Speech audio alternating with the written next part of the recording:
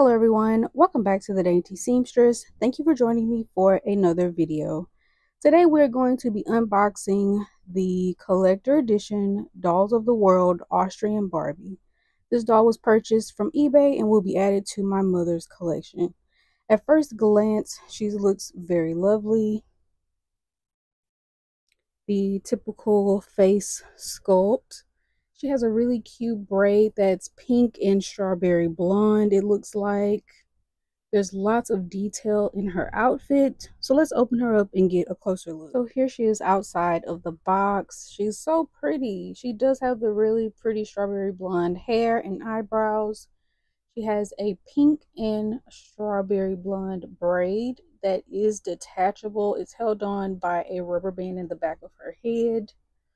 She has a pearl earring, very light makeup, green eyes.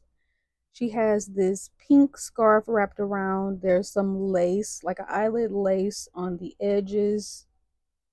This really cute little jacket with some floral embroidery. An embroidery on the lapel and on the cuff of the jacket. It's like maybe this is wool, I think and there's a little clasp here in the front. She has on a dress that is floral and it has some ribbon details on the bottom and more of the eyelet lace at the hem. She has some socks and some black slippers and they have little bows on the toe. As we turn her to the back, we're going to look at the closures. Her hair is very soft. So that's what the back of the little scarf looks like. Really cute. And there's the jacket.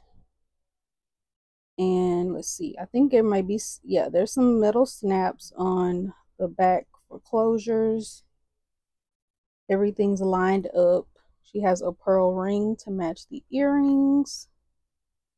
There's some pieces of, of you know, the rubber band, how that deteriorates. There's some of that on her. And there was some on her socks as well because they were holding her shoes on her feet.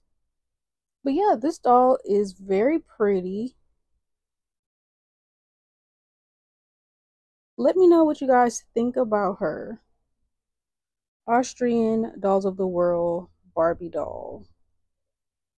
You can comment, like, share, and subscribe. Again, let me know what you think about her. And I will see you all in the very next video. Have a wonderful rest of your evening and God bless.